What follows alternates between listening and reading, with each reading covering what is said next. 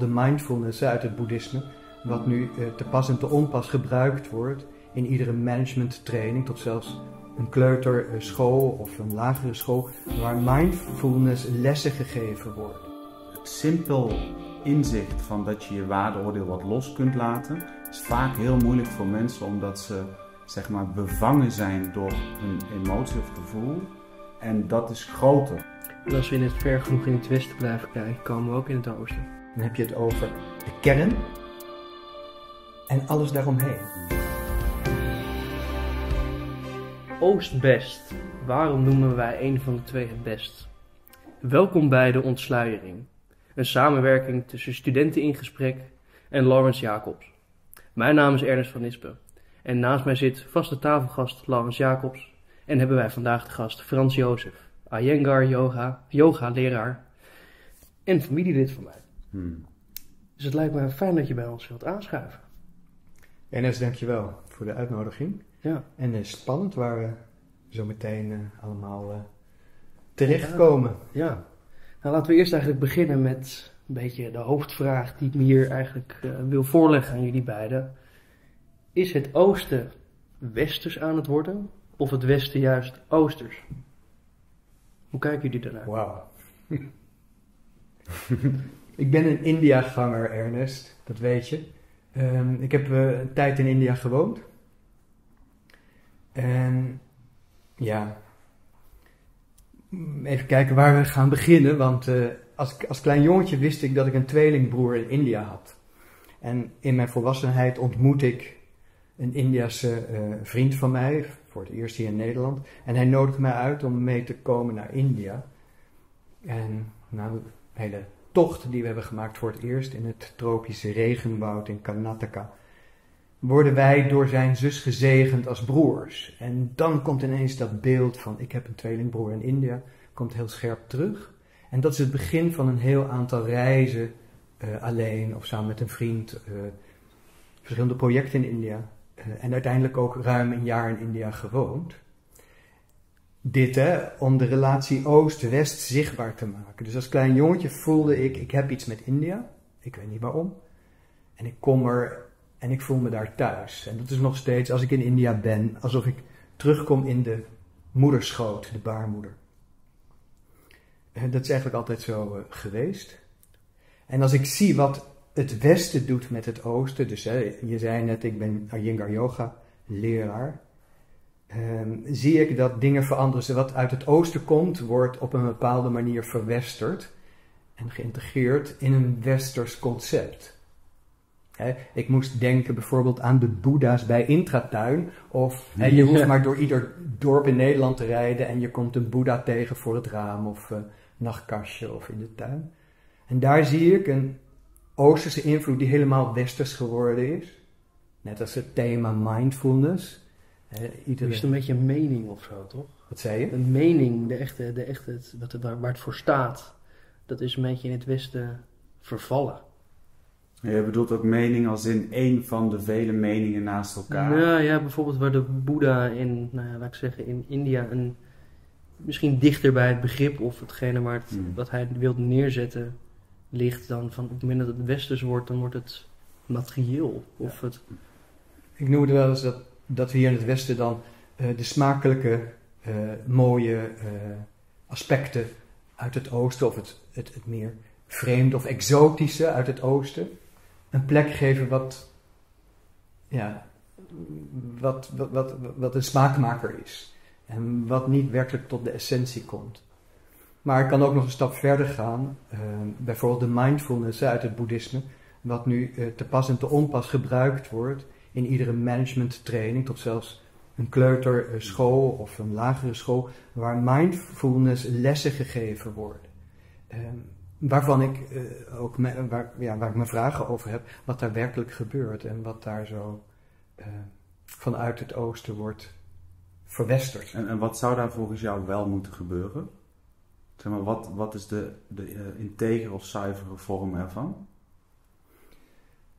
Nou, voor mij is een vraag wat je eh, vanuit het oosten, wat zich in het westen vormt, vorm krijgt op een nieuwe manier, ehm, hoe dat tot een, eh, een levenshouding kan worden, omdat je dat in het oosten ziet. Hè? Hmm. Iemand die een boeddhist is of een hindoe, die integreert de verschillende aspecten van zijn, zijn haar overtuiging Ja. in het dagelijks leven. Hmm.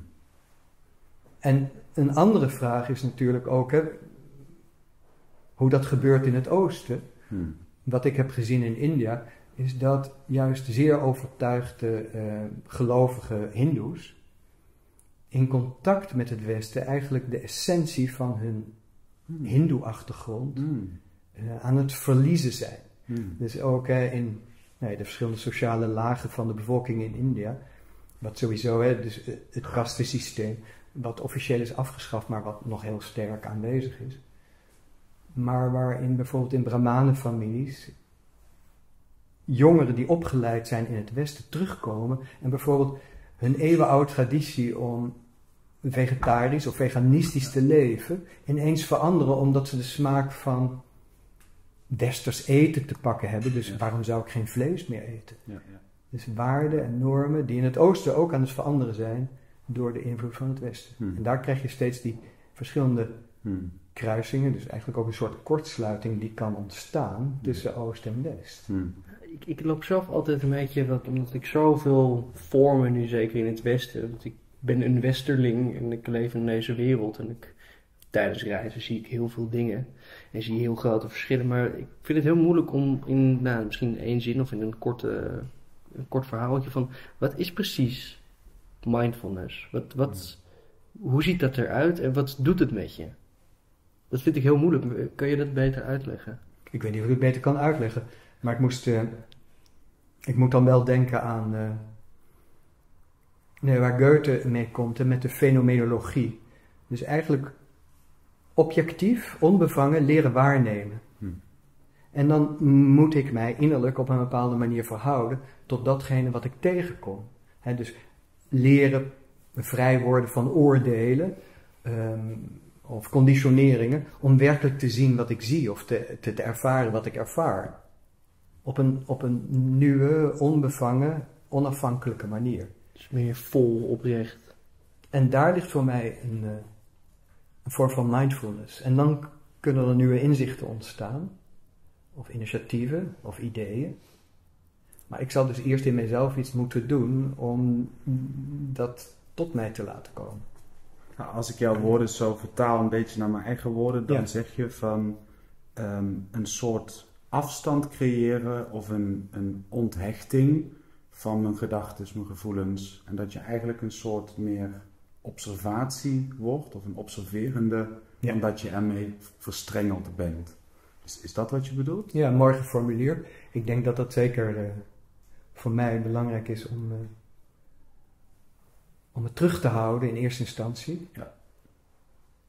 En dan vrij te worden in mijn oordelen en conditionering, of in ieder geval me daarvan bewust te zijn. Hmm. Daarin terug te houden, Ja. om dan werkelijk te kunnen zijn en waar te nemen. Ja. En dat is eigenlijk ook een fenomeen wat, wat ik probeer te beoefenen in de yoga die ik eh, doe, of de Iyengar yoga. Waarin trouwens ook hè, die beweging tussen Oost en West is. Dus Iyengar is een Indiase guru, geschoold door een oude, traditionele eh Indiase leraar, yoga guru in Zuid-India, Krishnamacharya. Hij komt uit de oude traditionele Indiase yoga, yoga-traditie, die eigenlijk alleen maar voor freaks was. Yoga werd beoefend in India door mensen die zich terugtrokken uit de samenleving. Eigenlijk de asociale, de mensen die niet meer meededen met de gangbare. We zijn die asociaal, want het is toch wel een deel van het kastensysteem. Dus zo werden ze Ja. genoemd. Oké. Ze, eh, hè, de yogis trokken zich terug of woonden in kleine gemeenschappen en beoefenden daar de yoga. eh, om in contact te, te blijven en te zijn met de geestelijke wereld. En Krishnamacharya leert een aantal jonge mannen ehm, aan het begin van de vorige eeuw de traditionele yoga. En Iyengar gaat daarmee eigenlijk naar het westen, of hij wordt ontdekt door westerlingen.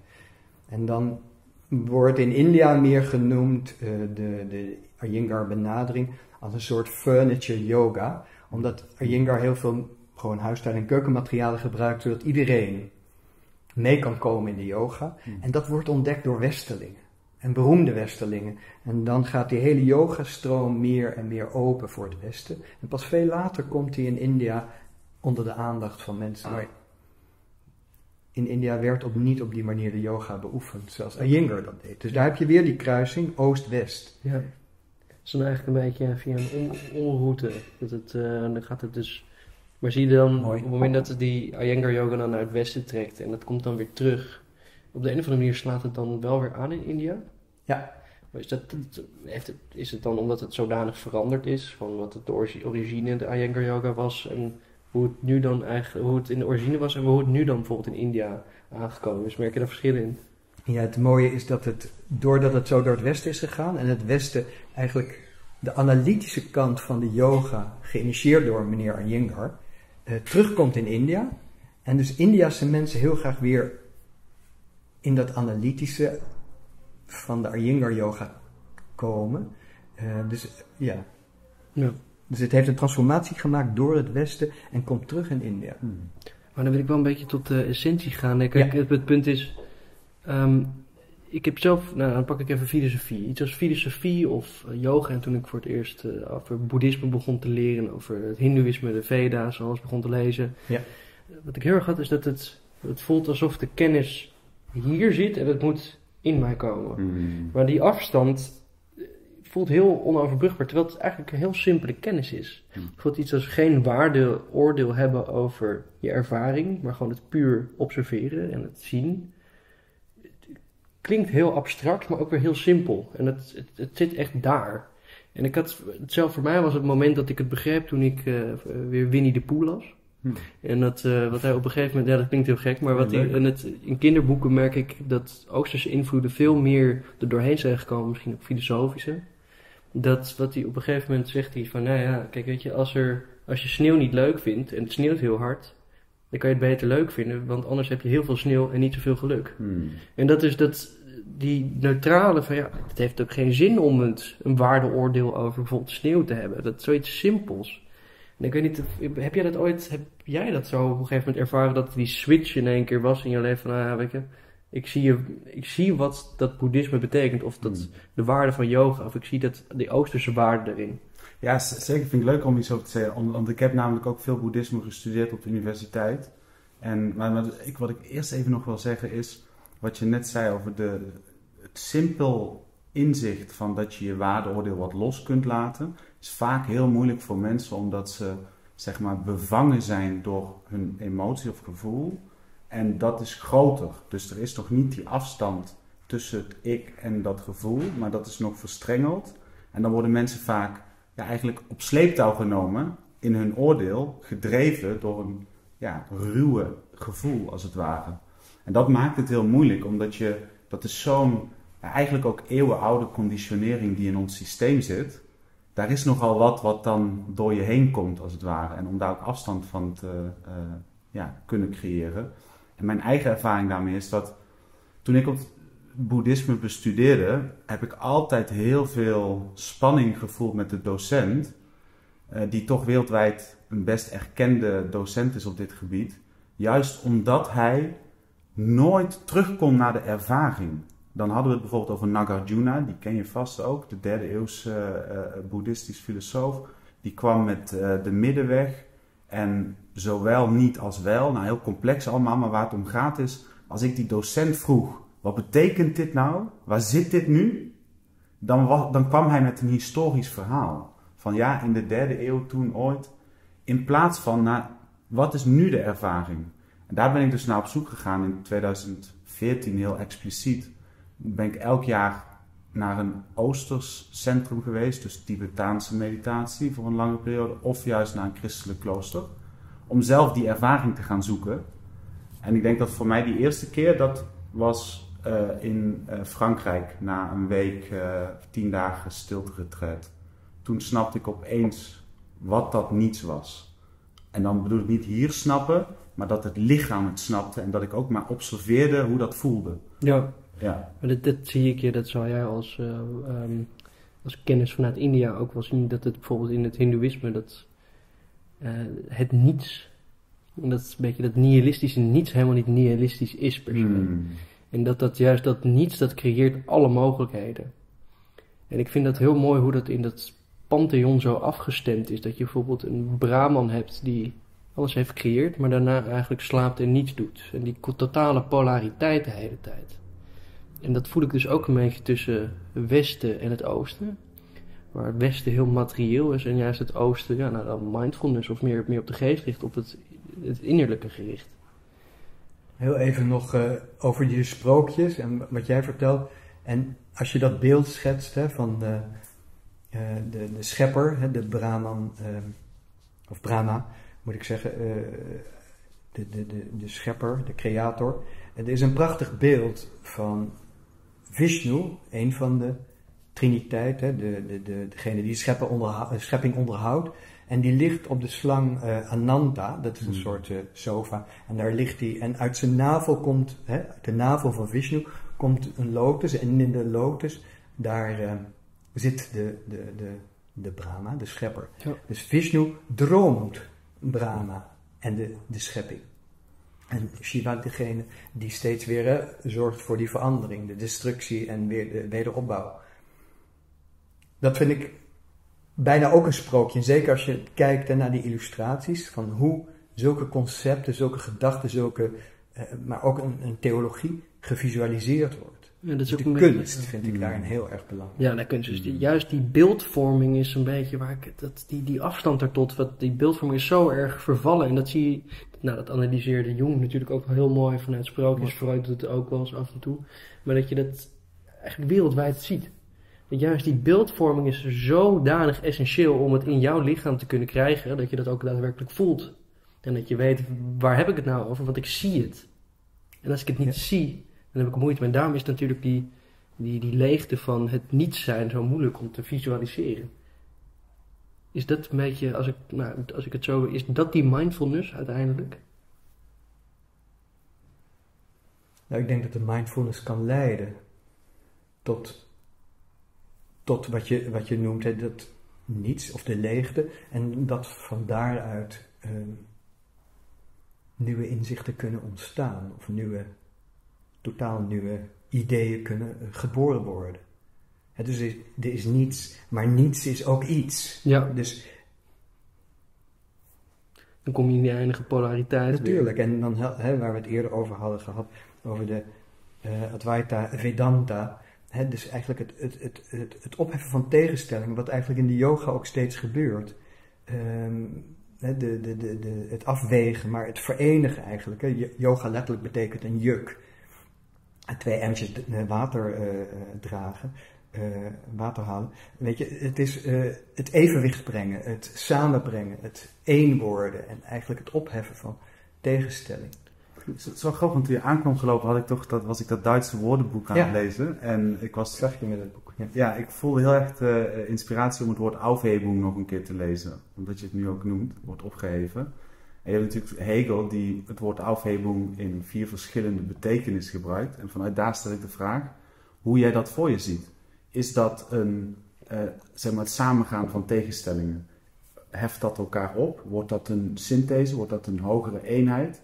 Hoe zie je dat voor je? En misschien ook met een beetje in de achtergrond op wereldtoneel. Met een oosten dat ja, toch veel individuen daar leven geen gezond individueel leven zou ik zeggen. Heel veel onderdrukking, armoede en misschien wel een rijk spiritueel leven. Maar wa- wat ik ervan weet van de mensen die er geweest zijn, is er heel veel armoede. En, eh, ja, en, in, in vergelijking met het Westen, waar we dus juist dat individu zo centraal hebben gesteld, maar waar de innerlijke armoede heel groot is. Steeds groter blijkt te zijn, laat ik het zo zeggen. Dat is mijn vraag. Ja, ja, maar probeer hem even concreet te maken, want je stelt heel veel vragen in Ja, één ja. vraag. Ja, klopt. Nou, eh, in ieder geval het stuk van, omdat je benoemt dus het samengaan van tegendelen. Ja. Dat is één vraag. En dan de tweede vraag is, dat toegepast op het wereldtoneel van Oost-West. Ja, ik denk, ik, ik moet ook denken aan, als ik naar je luister, de historische context. Hè? Dus als we het hebben over Oost-West en dan vooral door mijn ervaring in India, zie ik dat er in een hele korte tijd door de invloed van het Westen in het Oosten gigantisch veel veranderd is. In een hele korte tijd. Dus als ik een, een periode van ongeveer 20 jaar kan overzien. Hè, toen ik voor het eerst in India kwam en uh, mijn laatste tocht door ook dezelfde gebieden en in contact met de mensen die ik daar destijds ontmoette, dat er in een hele korte tijd heel veel veranderd is en heel veel verwesterd is. Waardoor armoede een andere betekenis heeft gekregen. Dus in het begin heb ik arme mensen ontmoet, maar die vanuit hun overtuiging, hun spirituele overtuiging, met die armoede anders omgingen Hmm. dan dat ze dat nu doen. Hmm. Dan is het bijna geen armoede meer. Nee. Dan is het gewoon. Ja, Is het zijn. Ja, ja. En een, gro- een groot probleem is daarin ook hè, de sociaal-maatschappelijke verandering. Dus ik heb in verschillende projecten gewerkt in Zuid-India, maar onder andere ook in een project waar eh, straatkinderen werden opgevangen en geschoold werden, of scholing konden krijgen. Eh, waar op een gegeven moment een bus met bejaarden binnen kwam rijden, eh, omdat zij eigenlijk ook met hun laatste fase in hun leven iets wilden doen en betekenen, omdat eigenlijk binnen hun familie er niemand meer is die voor hun Hmm. kan zorgen. Terwijl hier in het Westen hebben we of een, hè, een, een AOW, een pensioen opgebouwd. En we hebben Hmm. onze familie niet meer nodig in die zin Hmm. eh, om verzorgd te worden. Terwijl daar is altijd eh, een zoon of een dochter of meerdere familieleden die voor hun bejaarde ouders zorgen. Ja. Nou, dat is de grote sociaal-maatschappelijke verandering in India die gaande is. eh, waarin al die sociale structuren, die ook vanuit een spiritueel eh, oogpunt een geheel vormen, is uit elkaar gevallen. En dan krijg je werkelijk eh, ja, een hele andere vorm van armoede. Ja. Maar je andere vraag, die heb ik niet beantwoord. De eerste, over die tegenstelling. Ja, ja. Ja, omdat je het zelf benoemde. Je had het over Ja. tegendelen die samenkomen. En dat dat iets van een nieuwe harmonie wordt. En dat is iets waar ik zelf heel erg in geïnteresseerd ben. Want ik geloof dat dat zo werkt in de natuur. En ik ben heel erg op zoek. Waar gaan de spanningen van nu naartoe? En dat is een hele grote vraag. Die hoeft niet beantwoord te worden. Maar in die geest stel ik deze vraag. Ja. Ja. Ik merk zelf na mijn, mijn, mijn, mijn ja, jarenlange yoga-ervaring en ook het zoeken daarin. Hm. En steeds weer opnieuw dingen ontdekken. Daarom blijf ik het ook doen en vind ik het fascinerend. Is dat die tegens, die, het werken met tegenstelling en steeds weer die vereniging en het eigenlijk loskomen van de tegenstelling een voortdurend proces is. Dat daar niet een, een ultieme staat, of ik, ik ben hem niet tegengekomen, eh, een ultieme staat is van en nu heb ik al die tegenstellingen verenigd in mezelf en is alles één. Hm. Is dat niet ook een beetje in essentie uit het hindoeïsme dat het juist heel erg dat bijvoorbeeld, ik dacht dat, eh, is het Shiva die dan constant danst, of eh, waar ik nu... Nee, je doet, zegt het goed, ja. Ja, nee, Shi- Shiva die eh, eh, zowel dus eigenlijk het leven energie geeft door constant te dansen, maar juist ook weer die destructiviteit, Absoluut. dat je dat heel dubbel hebt. Waar, dat, waar, waar ik mezelf heel erg, als ik daar naar kijk, hè, als je dan uiteindelijk dus geen waardeoordeel meer hebt, omdat je dus in die, nou dus het, het muntje, dat je kop en munt hebt, en dat je niet inziet dat het op kop of munt is, maar dat het gewoon de munt is. Dat het gewoon is. En hetzelfde met dat dansen en destructiviteit. Is er dan nog gevoel? Want je zit het in het nu. Waar komt dan het gevoel van? Is het, Oh, je, het blijft een, ik vind het nou mooi wat je net ook zei, van het blijft een proces. Er is geen eindpunt als het ware. Maar dat geldt hier ook. In ieder geval, mijn ervaring is Mhm. dat als ik veel mediteer en daar ruimte voor neem, ehm, dat de reacties blijven hetzelfde. Als, als iemand eh, boos wordt, dan voel je dat. Als iemand iets doet wat je echt heel veel pijn doet, dan voel je dat. Maar het verschil nu is dat ik niet meer als een afgezonderd ik dat ervaar. Maar het is meer andersom. Van het geheel ervaart mij als een eindig wezen. Maar de sensaties en zo blijven, is mijn Ja. ervaring. ja, En dat is ook wel wat ik, wat ik ja, van mijn teachers door de jaren heen heb meegekregen, dat dat klopt. dus het belang van het lichaam blijft wel. Nou, het, het, is het, het oude, het christendom bijvoorbeeld, heeft vroeger altijd heel erg de neiging gehad om het aardse weg, om weg te willen van het aardse. En ik denk dat dat nog steeds in ons als westerling zitten. En ook zie ik dat in de non-dualiteitssfeer heel veel, dat er een, eigenlijk een dissociatie van het menselijke plaatsvindt. Van ik ben niet mijn gevoel, ik mag niks voelen, ik heb gedachten, nou ben ik onzuiver. Terwijl dan ontken je de natuur, dan ontken je het aardse. En terwijl dat zijn twee tegendelen die samen moeten komen. Maar dat, dat is Ja, toch... hoe zie je ja. dat, sorry, eh, eh, dat verschil tussen het christendom en het boeddhisme? Want in het christendom denk ik, hè, de, de liefde voor hè, aanwezig zijn. En natuurlijk heb je daar een hele Hmm. historie in het christendom waar mensen zich terugtrokken en zelfkastijdingen, weet ik veel wat er allemaal gebeurde, wat je in het oosten ook ziet. Ja. Maar de liefde voor het leven en het, de zorg voor het lichaam en het lichaam is goddelijk. Terwijl je in het oosten, en zeker in de stroom van het, de, de, de Jain eh, gemeenschap, Hmm. eh, eigenlijk het overstijgen van het lijden een belangrijke rol eh, speelt. Ja. Terwijl in de christelijke traditie het lijden op je, ja, op je genomen wordt. Hè? De- Hmm. Lijden ondergaan. Hmm. Ik denk dat je het een beetje bedoelt vanuit de filosofie van Plato van de twee paarden. Dat je het lichaam en geest en dan de, de ziel die het leidt. Maar eentje, eentje trekt harder. Bijvoorbeeld in het oosten is het Mhm. de geest die harder trekt. In het westen is het lichaam dat harder trekt. Eros en Thanatos. En dat, Ja. Nou, nee, ik bedoel, dit, ik, ik vind dat overigens een mooi, eh, mooi element van Plato. Maar ehm, eh, zou je nog in één zin kunnen zeggen, want ik was heel benieuwd. Je, je was iets op het spoor voor mijn gevoel. Kun je dat nog in één zin? Tussen de twee, oost-west, christelijk en Ja, ja. de, de, de, de meer oosterse eh, Ja. ja, stroom en dan vooral hindoeïsme of boeddhisme. Toen had ik het over de Jains, Ja. waarin het eigenlijk... Je, je- ja, en, en de Jains is voor mij echt de, de, de gemeenschap die puur pacifistisch is. Ze hebben ook geen eh, godsbeeld, maar er zijn 24 profeten, Hmm. een soort voorgangers eigenlijk. Hè, wij noemen het in het, in het Westen, hè, de, de paus is de, hoe heet het, de pontifax, Ja. de bruggenbouwer. Ehm, in het oosten, in de Jain community, daar heb je het over de profeten die ook brugbouwers worden genoemd. Zij zijn de voorgangers Hmm. die de mens helpen om Hmm.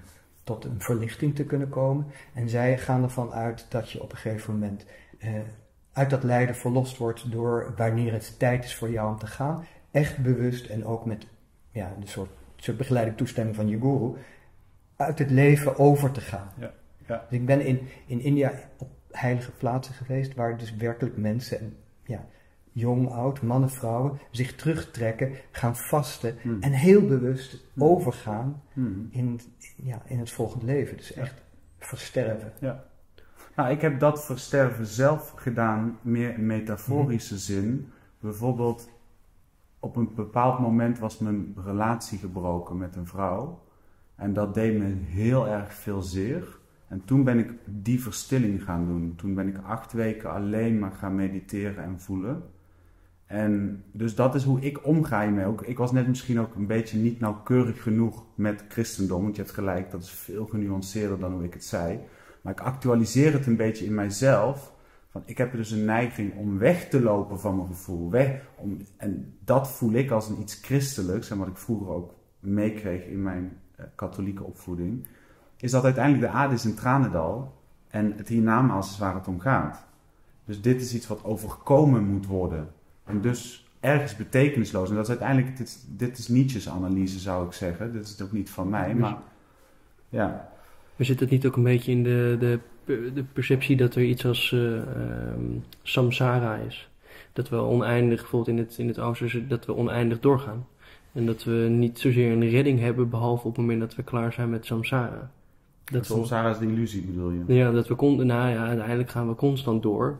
Totdat we op een gegeven moment alle stappen door het kastensysteem zijn heen gegaan. En elk ding weer opnieuw hebben geïntegreerd. Elke stap als mens. En dat we uiteindelijk compleet zijn. En dan bevrijd zijn van de realiteit en er terug hoeven komen. En dat waar de ene is een beloning. En de andere is meer een soort strijd. Waar we de hele doorheen moeten gaan. Elke keer onszelf weer moeten leren. En elk punt van onszelf moeten integreren. Dat is bijna een, een, een, een, multi-oneindige hoeveelheid aan levens van verschillende delen uit je ziel, zoals Jung zou zeggen, integrering. En ik denk dat daar heel erg het verschil in zit met het christendom, waar is het echt het Westen erin zien. Ik zou bijvoorbeeld ook zelf heel interessant vinden hoe het christendom wordt geïnterpreteerd in juist het Oosten. Ja. Dat, dat, In het Hindoeïsme wordt, wordt Christus sowieso al gezien hè, van ehm, een van de volgende incarnaties van Vishnu. ja. En, en daarom bestaat het Hindoeïsme al zo ongelooflijk lang, omdat het steeds de, de, de, de, de kracht heeft om heel veel andere invloeden, gedachten, ideeën te integreren. Dus Hm. de Christus is, een, is voor heel veel Hindoes een belangrijke eh, kracht van, van Vishnu. en ik moest ook denken aan wat je nu zei. Het is ook een, een messiaanse verwachting. Of, wat je net ook deed, is er dan een soort vervolmaking? Zijn we bezig om steeds weer nieuw, opnieuw te incarneren, om onszelf te vervolmaken? En wat is die vervolmaking dan? En in het oosten spreek je dan over moksha, dat je eh, een, tot een verlichting komt en opgenomen wordt. Hè? In Brahman, dat je helemaal deel uit eh, gaat maken van Van het soort goddelijke- ja, van het heel goddelijke geheel, het universum. Ja, waar je, waar je dan in opgenomen zou worden. Ehm, Maar ik vind het heel dubbel als ik dan bijvoorbeeld Ja. dingen zoals de, de, de Veda's eh lees en gewoon het oude Vedische religie. Wat, wat heel erg duidelijk stellen is dat Brahman niet daar is, maar het is ook hier. Het is zowel in de god van Plato als buiten de god van Plato. Het is het geheel en het erbuiten. maar dat is ook een prachtige meditatie. Dan heb je het over de kern en alles daaromheen. Hmm. Je bent en in de kern, of je bent de kern, maar je bent ook alles daaromheen. En dat probeer ik in de yoga ook te beoefenen. Kan ik in die kern zijn en tegelijkertijd een soort allround bewustzijn creëren in alle aspecten van het zijn. Mooi.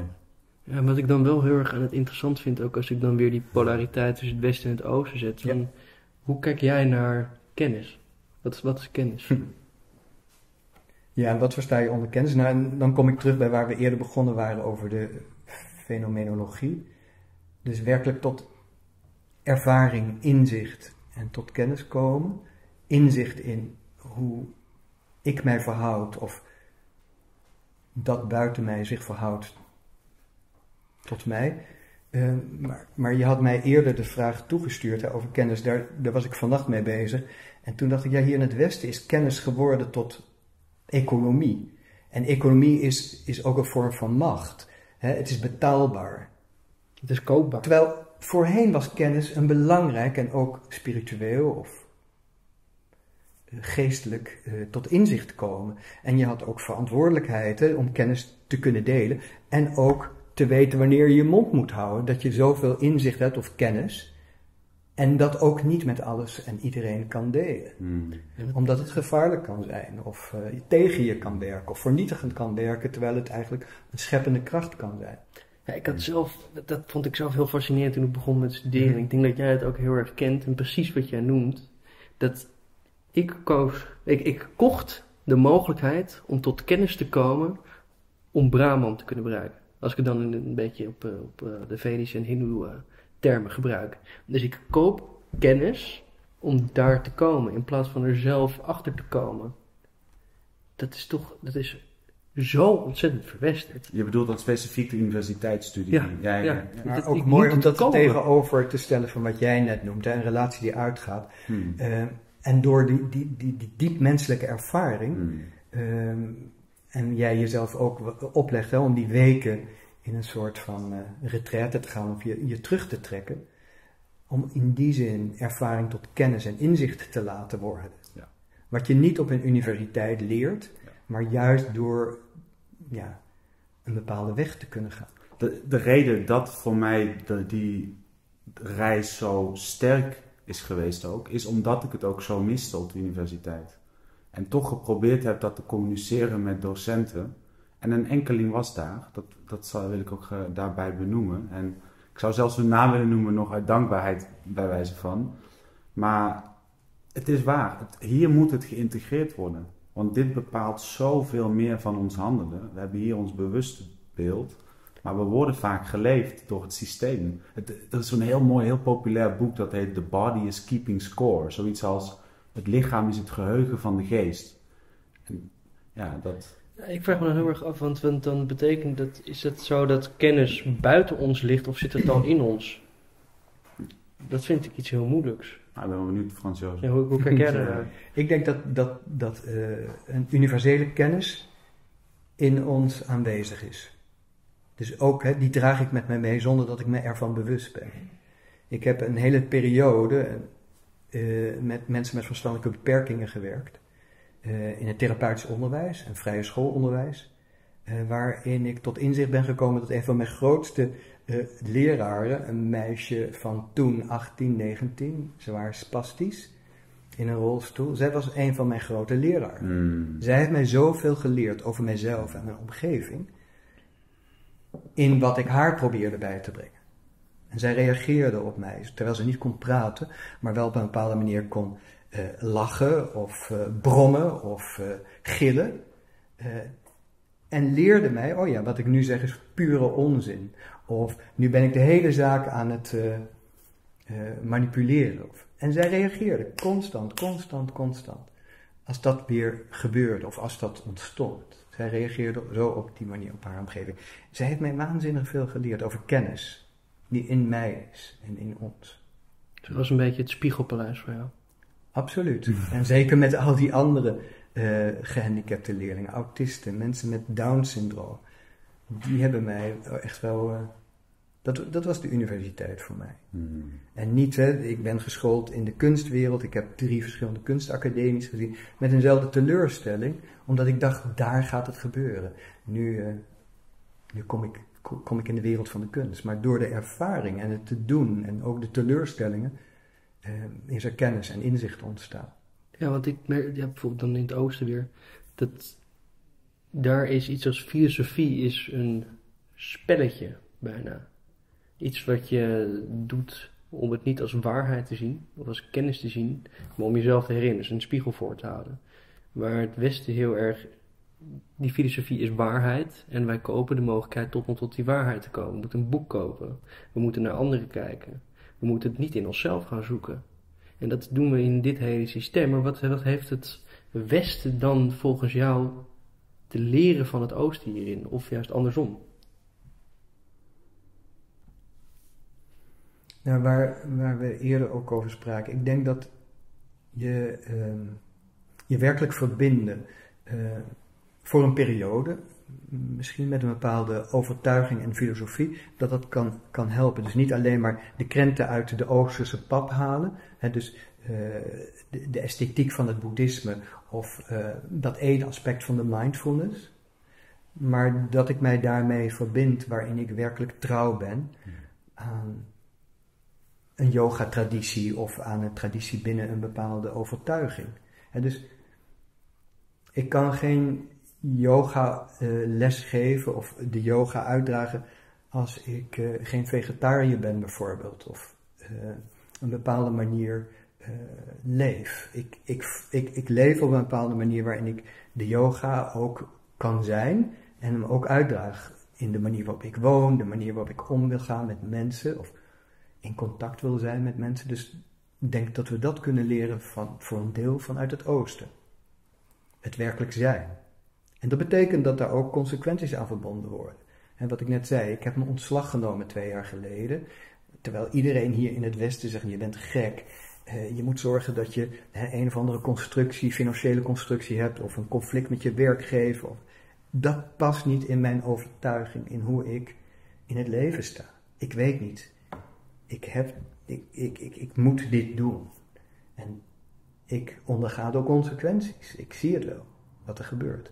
En ik weet, doordat ik wat ouder ben, uh, uit eerdere ervaring, als ik zulke beslissingen neem, dat het, dat het goed gaat. En ik heb een overtuiging dat ik ook uh, geholpen of begeleid of ondersteund ben. Niet alleen maar door vrienden of familie, maar ook vanuit een geestelijke realiteit. En ik denk dat we dat van, voor een groot deel vanuit het Westen kunnen leren. Maar ik wil vooral niet, uh, hoe heet dat, on, uh, ontkennen dat we uit een westerse christelijke traditie, en vooral de esoterische uh, kant, of de, de meer, ja, ook de hermetische filosofische kant, daar een traditie hebben opgebouwd, die parallel loopt hmm. aan het oosten. Hmm. Het is niet zo dat ik mijn christelijke wortels verlogen omdat ik de schoonheid van het oosten zie. Ik, en, dat is denk ik ook wat Jung prachtig doet, dat hij ze verbindt, dat hij ze samenbrengt. En ik denk dat dat een belangrijk moment is in de tijd waarin we nu leven, dat we dat samenbrengen. En dat het oosten op die manier van het westen kan leren en wij heel veel vanuit het westen uh, van het oosten. En nog, nog over die twee termen gesproken, vaak hebben we het over het westen als ons klein Europa. Maar het Westen was natuurlijk voorheen veel groter.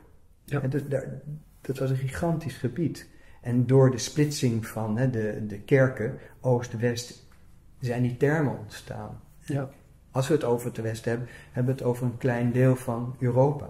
Ja. Terwijl dat was natuurlijk veel groter en veel uh, krachtiger en ook spiritueler. Ja. En als we in het ver genoeg in het westen blijven kijken, komen we ook in het oosten. Als we ver genoeg in het westen dus zo zijn we, zo zijn we met elkaar oosten. verbonden. Ja, je hebt gelijk, want dat is ook wat in de 18e en 19e eeuw in de filosofie is gebeurd. Op wonderlijke wijze mensen ook als Goethe, maar ook zijn uh, beste vrienden, ja, beste vrienden, zijn tijdgenoten, maar sommigen waren echt goede vrienden, hadden blijkbaar ook vaders die de Veda's vertaalden. Ja, precies. Dat is ongekend. Nietzsche. Bijvoorbeeld. 18 zoveel, uh, dat hij uh, Max Müller leest, ja. hè, een van de grote Duitse ja. Indologen, ja. die uh, materiaal beschikbaar maken uit het oosten. Voor het eerst dat de, de Bhagavad Gita vertaald wordt, gelezen wordt, en veel in Duitsland, nieuwe inzichten ontstaan in de filosofie. Ja. je ziet bij Schopenhauer bijvoorbeeld heel mooi hoe hij, want ook zijn vader was vertaler van Sanskriet. En hij had het gewoon dus thuis in de keukentafel liggen.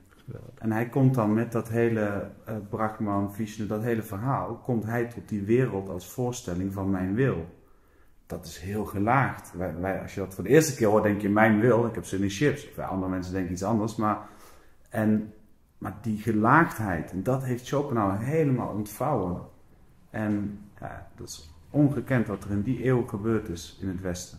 En mooi om te kijken wat die, die periode eigenlijk gespiegeld nu doet hier in onze tijd. Ja. Want begin vorige eeuw, als je dan kijkt, hè, de Oost-West, dus meer welgestelde, ontwikkelde Westelingen die zich oriënteren in het Oosten, Hmm. waar eigenlijk de theosofische uh, kant uit ontstaat. Hè, Krishnamurti, Hmm. die uh, gepresenteerd wordt als de, de grote Ja. uh, Maitreya of de, de verlosser voor het Westen, om uiteindelijk te zeggen, ja, ik ben het niet. Ja. Um, en iemand als Rudolf Steiner, die voorzitter was van de Theosofische Vereniging destijds in Berlijn, en uiteindelijk zegt als Krishnamurti wordt voorgesteld als de verlossende kracht in deze wereld, dat ze zeggen, ja, dit, dit is niet waar. En veel meer in de esoterische, gnostische kant van het christendom Ja.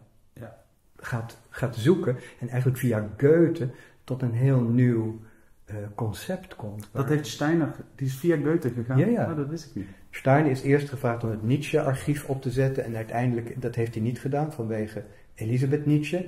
Ja. Um, en hij is toen gevraagd om het Goethe-archief op te zetten. En daar heeft hij waanzinnig veel dingen ontdekt van Goethe, Hmm. die niet, niet zo algemeen bekend waren. Hmm. Dus de hele kleurentheorie van Goethe, of de fenomenologie, of de metamorfose, metamorfose van de plant, metamorfose van de dier. Dat zijn waanzinnige ontdekkingen door Goethe gedaan, waar Rudolf Steiner uiteindelijk uh, Ah, zijn ideeën verder ontwikkelt. Ja. Ja, want Krishnamurti, die ik, als kind, mijn moeder was, eh, gaf, had me ooit een boek gegeven van hem. Wat doe jij met je leven? En ik heb hem dus altijd een beetje gevolgd in mijn leven. Maar hij is ook enorm teleurgesteld door die theosofische vereniging. Die hebben hem eigenlijk gewoon voorgelogen. En dat heeft me zo geraakt, dat verhaal. En Steiner bleek dan de integere man te zijn die niet meeging in die verafgoding ook. Hoor hij ik kon, hij, dat hij wist ik kon niet. dat niet, nee. Hij heeft toen uh, dat voorzitterschap uh, opgegeven en in München uh, de, de antroposofie ontwikkeld. Ja. En uiteindelijk, dan heb je al beginnend opkomen ten nazisme in Duitsland. Hmm. En antroposofen worden daarin ook verketterd. En dan krijgt hij de gelegenheid om bij Basel in Doornach het Goetheanum op te zetten. Dus dat is het grote antroposofische uh, centrum uh, Hmm. wat hij begint. Hmm. Wat uiteindelijk ook hè, nieuwe architectuur, dus kunst speelt een belangrijke rol. Nieuwe architectuur. Het Goetheanum was in hout opgebouwd. Dat wordt in uh, de kerstnacht, ik weet niet precies, het begin vorige eeuw, uh, jaren twintig, uh, gaat dat in vlammen op. Hmm. En daar wordt over gespeculeerd wie dat zouden hebben kunnen doen.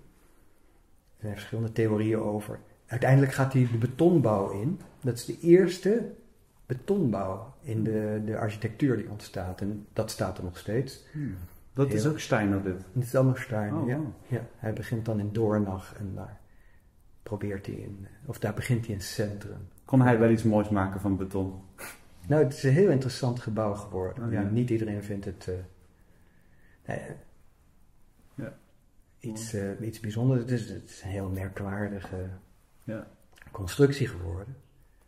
Maar waarin eigenlijk al die verschillende disciplines als kunst, beweging, Hmm. filosofie, wetenschap Ja. eh, samenkomt. Dat is eigenlijk wat hij probeert, al die verschillende eh, takken te verenigen. in die hele tijd, wat ik denk het belangrijkste begrip, en dat is ook wat wij in onze, als we koffie drinken samen, wel eens waar we vaak mee resoneren, is dat begrip van heelheid, die gansheid. Hm.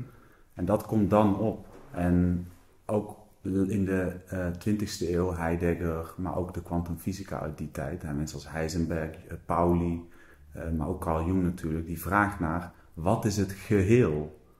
Dat in één keer is men bevangen daarvan. En ik, ik, ik denk dus dat wat we nu, eigenlijk alles wat negatief is in ons gesprek, in de dingen die we beschrijven, of die we liever niet zouden hebben, is omdat het gefragmenteerd is. En wat fragme- gefragmenteerd is, kan niet groeien, kan niet leven, kan niet ademen, is gedoemd ten onder te gaan. En dus, en vandaar ook dit gesprek, waar gaan we nu toe als heelheid? En hoe kunnen we al die fragmenten in een heelheid zien? Dat is de kernvraag eigenlijk. Ja. Ja, en wat is daarop je antwoord? Ik, ik, ben, ik schrijf er elke dag over. Ik probeer het zo zuiver mogelijk te formuleren, maar nog niet dat ik op een positie ben om daar nu definitief iets over te zeggen. Ja, het moeilijke is dat woorden zo belast zijn geraakt hè, in Mm. deze tijd. Ja. Dus als ik naar je luister, dan kan ik niets anders dan alleen maar eh, het woord van eh, liefde uitspreken. Hmm. Dat zal ons verbinden, dat zal genezen, dat zal werkelijk werken. Hmm. En dat vind ik ook de, de kracht van de Christus. Die, die spreekt over de liefde. Eh, als je dat zegt, dan ben je softy, slap. nou ja. En dan er wordt heel veel uit de kast getrokken om dat meteen te vernietigen. Ja, ja. Eh, maar ik ben, ben diep overtuigd dat daar de genezing of de, de hulp of de, de vereniging, de verbinding Ja. zal ontstaan. Ja, Schelling zei in de 19 of in de, zei 1800 geloof ik, liefde is de harmonische saam, het harmonisch samengaan van tegendelen. Daar draaide het Ja. hem helemaal Ja. om. Ja, en wat, wat is dan in dit geheel, hè? Nou, het, het, eh, het, het, het, het geheel wat we willen bereiken en hoe we dat in die fragmenten samen weer proberen te krijgen. Wat is de rol van het ego hierin? Hmm, Moeten we ervan af of moeten we het juist integreren? mooie vraag. Ja, ik ben ervan overtuigd dat je ja, incarneert, hè, de, de, de, dat mijn ego ook een instrument is. En dat ik eh, meer ben dan alleen maar mijn ego. En dat ik dat verder kan onderzoeken en ontwikkelen. Maar mijn ego is wel eh, een, een, deel van, van, van mijn instrument. Zonder ego. Ja, want ik merk dat in het boeddhisme dat dat vaak de- wordt neergezet als dat we van het ego af moeten. Maar bijvoorbeeld een, vanuit, ja nou ja, is ook, ook binnen het hindoeïsme is dat niet per se zo. Dat we het ego ervan af moeten, maar gewoon moeten bekijken en weten hoe we ermee om moet gaan. Zie je ook in Jung, dat we nou, zowel het ego, gewoon het geheel van het ego, wat uit meerdere punten bestaat, dat we dat allemaal moeten leren en integreren. Maar bijvoorbeeld dan, als ik, nou ja, dan pak ik even panterij, de, de kennis van het oosten stroomt via de westerse Griekse filosofie weer naar het westen. En daar wordt het ego weer anders. Daar is het ego opgedeeld in meerdere dingen. Bijvoorbeeld het ego in lust en het ego in geestelijke lust bijna. Maar, waar, waar moeten we er nou van af? Maar ik, het is zo breed en ik heb het idee dat we dat nog steeds dat hele ego aan het uitvinden zijn. Hmm. Dat we er eigenlijk helemaal niks van weten. Laat staan dat we überhaupt al eerst moeten kijken naar ego, de fragmenten daarvan, Hmm. voordat we überhaupt bij het geheel kunnen komen. Hoe kijk jij daarna als filosoof? Ik- probeer altijd terug te gaan etym- etymologisch. Dus het, de, dat, voor de luisteraar die dat woord niet kent, dat wil zeggen dat je teruggaat naar de wortel van de betekenis. En het woord individu is in onze tijd heel dominant. En wij zien het wederom, als wat ik net zei, als een gefragmenteerd iets. Van ik ben een echt individu als ik me zo en zo kleed en als ik dit en dat. Oftewel weer, wat je net heel mooi zei, dat het weer materieel wordt. Terwijl het woord individu betekent individuum. Dat wil zeggen onverdeeld. Anders gezegd, een geheel. Dus dat Jungiaanse, en ik, zo kijk ik ook naar geschiedenis, echt met een, een eschaton, of in ieder geval een, een, een, een doel waar we naartoe bewegen, is dat, zeg maar, dat besef. Dus het woord individu, om een beetje zo met Hegel te spreken, van het woord individu, klopt het woord, maar hoe het geactualiseerd is, is nog aan het verfijnen. Dus ook je vroeg straks aan mij van, ge- ja, is er een echte werkelijkheid geloof ik of zoiets, iets in die trant van, ja, er is dus iets wat waar is, namelijk individu, maar dan is er onwaarheid in hoe het manifest is. En dat is denk ik ook zo met het ego. Maar ik geef hem nu graag aan jou, want ik ben benieuwd, juist vanuit jouw Oosterse hoek ook. Ja, wat ik al eerder zei, ik denk niet dat ik zonder dat ego eh, kan zijn. Ja. Ook weer interessant, nu moet ik denken aan mijn gehandicapte leerlingen van destijds. Dat dat, dat een heel ander aspect was.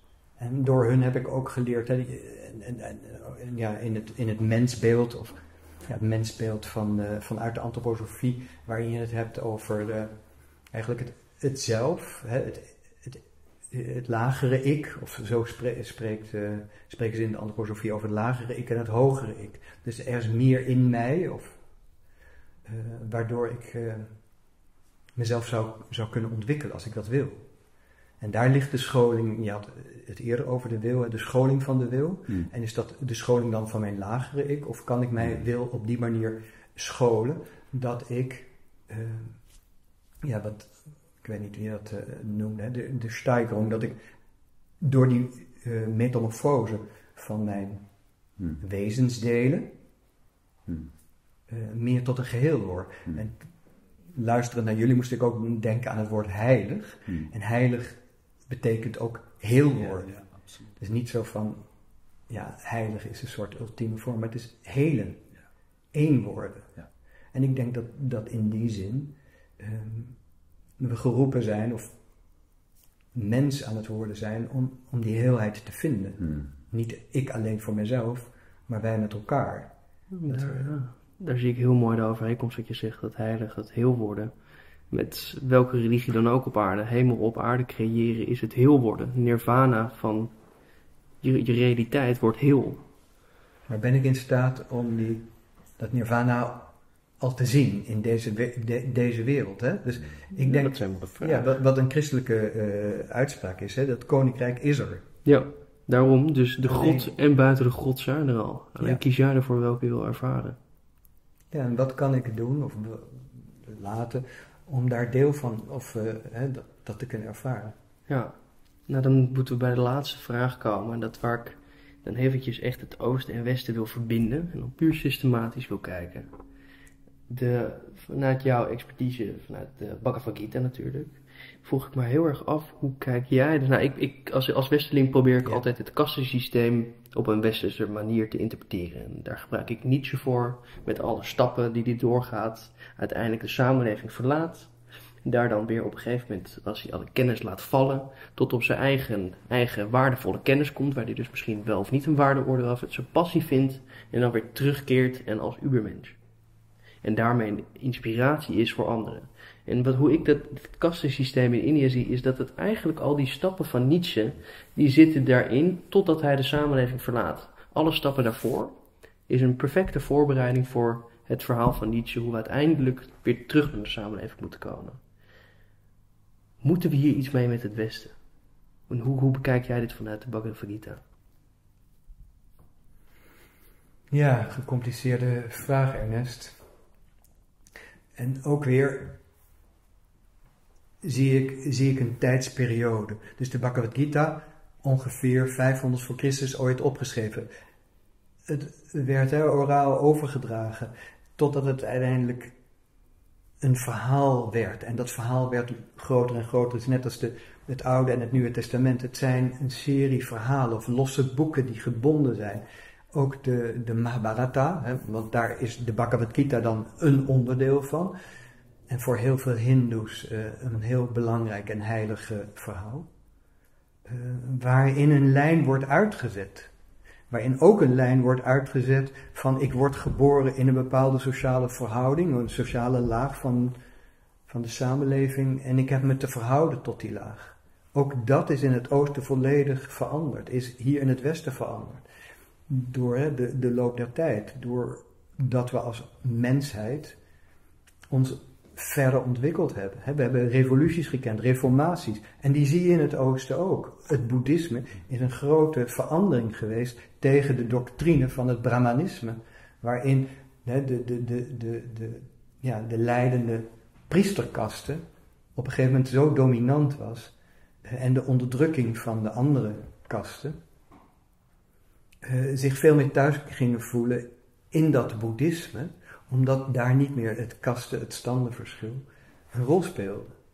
Maar zou, zou, zou het kastensysteem een bepaalde geestelijke waarde hebben in een westerse wereld? Want zelf, toen ik echt in ging verdiepen, nou, mijn tweede naam zoals je weet is Arjuna. Ja.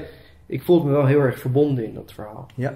met Arjuna. En dat eigenlijk een beetje die, die, die vraag of hij nou tegen wat ook zowel zijn familie is, of dat hij nou zijn echte familie moet verdedigen, of dat hij wel moet aanvallen tegen de nou, soort van eh, indirecte familie. Zie ik wel iets van, ja, moet ik de kennis van de samenleving houden? Of moet ik mijn eigen kennis gaan doen? Moet ik hetgene waar ik fysiek mee verbonden ben, of waar ik het geheel van inzie? En naar die polariteit kunnen we daarmee spelen, en die verhalen, en dat, hoe dat kastensysteem, de, de onderliggende gedachten daarvan, heeft dat een functie in het Westen, op een geestelijk niveau. Ja, terug naar, naar, naar Arjuna, die, waarin, waarin ook hè, in dat gesprek in de Bhagavad Gita met Arjuna en Krishna, ehm, hij, weigert op een gegeven moment om mee te doen. Hè, dan liever sterven en Ja. doe helemaal niet mee.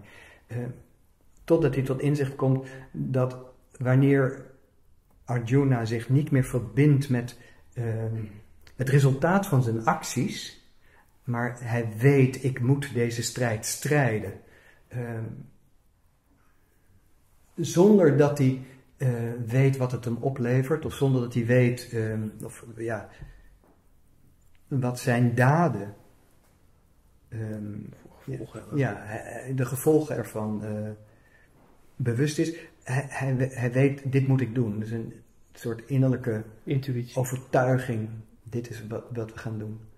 Ehm, en dan ook inderdaad familie en relaties eh, ja, bestrijdt. Ehm, zonder te weten wat het oplevert. Ja, dat Ja, bedoel maar- ik dus met die buitenwereld. Dus de wereld van het bekende, dus die Mhm. families. En dan waar je dan in het stappenplan van Nietzsche eigenlijk tot ubermens moet je uitsamenleven. Dus het, de vraag, ik weet niet wat mijn acties voor effect gaan hebben. Dus het onbekende, buiten de samenleving treden, heeft en daar dan, dan echt dat kastensysteem, dat dat opzetje ervoor is. Waar kan dat iets dienen? Moeten we daar iets mee?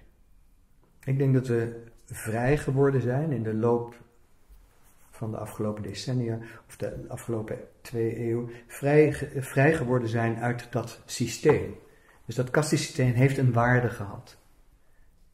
Ja, die, die is veranderd. Het is niet meer zo dat je in een bepaalde kaste geboren wordt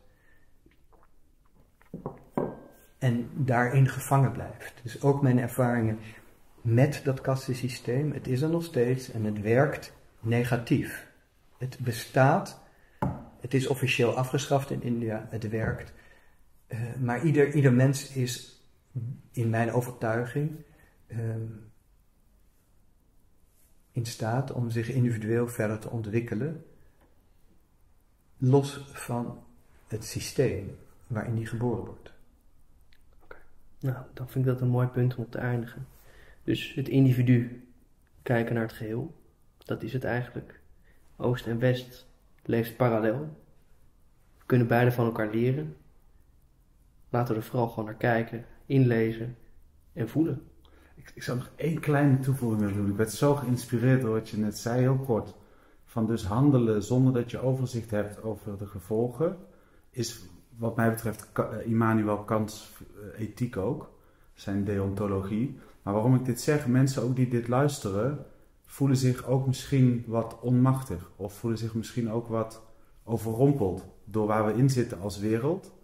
En wat is nu een handeling? Zo heb ik Bhagavad Gita altijd begrepen. Hoe handel ik in ware crisis? En ik vond het heel mooi, ik wilde dat gewoon even benadrukken, gewoon wat jij net zei. Van dat je dus, ook al weet je niet wat de gevolgen zijn van je handelen. Als je hem vanuit een zuivere intentie doet, doe je het hoogste wat je kunt doen. Dat, dat wilde ik gewoon nog even uitlichten. Mooi. En dan is er ook geen goed en niet goed. Ja. Het is. Insights. Het is gewoon. Het is. Oost-West, beide best. Nou, Frans Jozef en Lawrence, ik wil je heel graag eh, bedanken voor deze aflevering van de ontsluiering. En dan richt ik mij nog even op de kijker. Nou, ten eerste bedankt voor het kijken. Ik hoop dat jullie hebben genoten ervan, van deze aflevering. En als jullie ons willen steunen, dan zou het heel fijn zijn via een donatie. Wij zijn een stichting, dus alles wat er binnenkomt gaat er ook weer uit. Wij zijn totaal afhankelijk van jullie steun en jullie hulp. Alvast bedankt. Had u wel eens met beiden tegelijk gepraat? Nee, ik ken Ernest. En we spreken elkaar onregelmatig, maar als we elkaar spreken, dan gaan we meteen de diepte in. Uh, en dat is altijd fascinerend. En als u ze met z'n tweeën mee zou nemen naar India, wat zou de eerste plek zijn die ze moeten zien?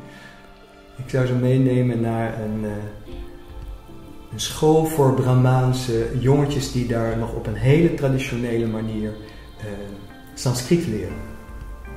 Dat is echt alsof je helemaal teruggaat, uh, eeuwen, eeuwen terug in de tijd. Het is echt fascinerend om te zien. Zijn de jongeren spiritueel genoeg? Moeilijke vraag. Ik denk dat heel veel, um, en spreek het over ego, er een enorme, um, een soort ego's, ja, egocentrisch spiritualisme uh, bestaat. Dus denken dat je spiritueel bent, maar ter eer en glorie van jezelf of uh, de eigen bevrediging. Dat kom ik ook tegen. Ja. Oké. Okay. En, en uh, inspireren jullie ook anderen om, om uh, spiritueel te zijn? Want jullie, jullie vrienden of... Uh... Ja, vro ja, en vroeger werd dat niet altijd in dank afgenomen. Ook wel een beetje om wat jij zegt. Niet iedereen is hiermee bezig. En spiritualiteit kan zeker in het begin een beetje irritant zijn voor mensen. Maar ja, de afgelopen twaalf jaar dat ik in Amsterdam woon, heb ik zoveel mooie mensen leren kennen. En in alle lagen. Maakt ook niet meer uit wat je doet, want je verbindt op zielsniveau. Ja. Ja. Nee, ik geloof niet in spiritualiteit. Het is slechts een, uh, slechts een identificatie, een term voor gewoon wat er al in je zit. Dus nee, het, uiteindelijk kan iedereen het, maar ze moeten het alleen willen. Maar bijvoorbeeld spiritualiteit, het is zo opgehyped. Het is, het is geen, ja, het is niks. In ieder geval, het heeft wel zijn waarde verloren. Maar ik zou zeggen, als hij er ooit was. Je moet weten dat het in je zit, zei jij. Wanneer Nou, kijk, hoe kom je die- erachter dan? Ja, dat, dat hebben we net in het gesprek proberen uit te leggen, maar dat, eh, ja, daar kan je van alles doen. Ik denk dat je vaak, eh, je moet sowieso gewoon naar jezelf gaan kijken. Wat doe jij en hoe denk jij in plaats van te kijken hoe handelen anderen en hoe verhoud ik me daar tot. En gewoon, wat vind jij belangrijk? Waar vind jij waarde en waar vind jij de dingen die jij leuk vindt en je passie? En misschien heb je er soms een spiegel voor nodig of een heftig, moment, een heftig moment in je leven. Waardoor je dus dan dingen in één keer neutraal ziet of juist waardevol. En is dat een, de weg naar een betere wereld?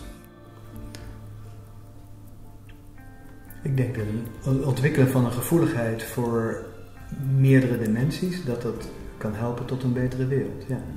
En of je dat nou een sticker geeft van spiritueel of esoterisch of gnostisch. Ik denk dat het belangrijk is dat we een ja, verder gaan om een gevoeligheid te ontwikkelen voor meerdere dimensies. Ja.